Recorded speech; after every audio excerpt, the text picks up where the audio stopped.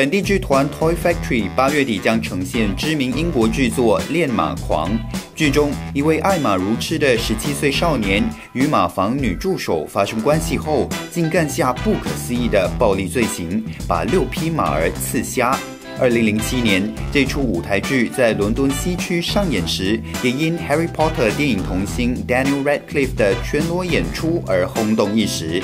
来到新加坡担任男主角的舞台剧新人 Ethan Chia，同样也有约十分钟的裸戏。另一名男演员 Walter Hanna 则将扮演马儿 Nugget，两人将同台共谱一段人马恋，挑战的难度可想而知。I have Ethan next to me who plays Alan Strang in Toy Factory's newest production, Equus. Hello. Hello.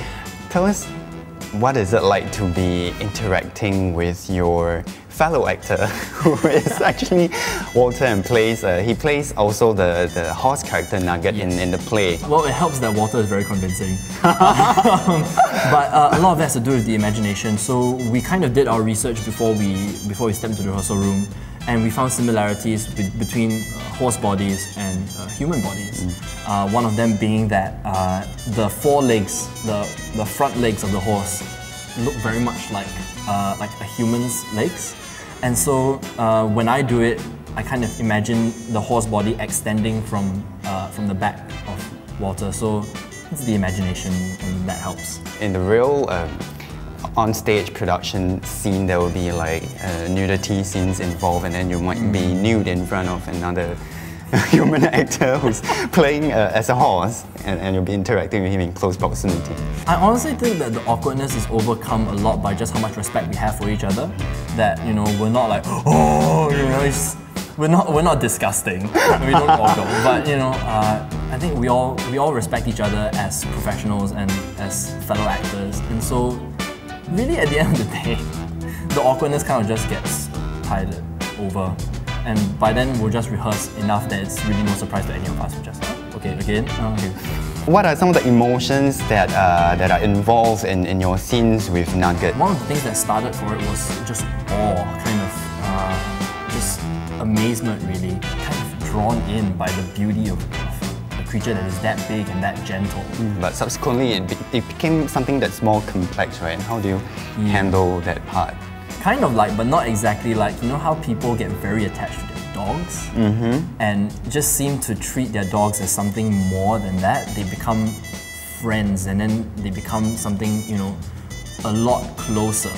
Mm. Uh, and in, in a way, there's a kind of semblance of that relationship with Nugget, except that it's of a much higher level.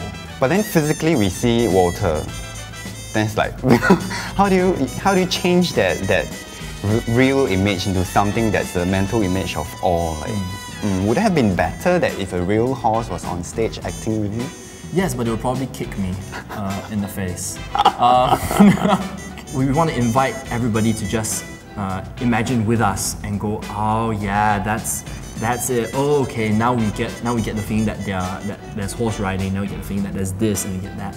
So the audience has quite a big job to play. They have to oh. go and you know exercise their imaginations. I think you've been exercising quite a lot for your role as well, since there'll be quite some um, flash revealing moments. uh, uh, I actually exercise quite a fair bit even before this. I am a devout follower of this uh, movement system called Budokon. Budokon was invented by a man called Cameron Shayne. In Japanese, it actually means uh, spirit of the warrior. Uh, it's a combination of yoga, martial arts, and meditation.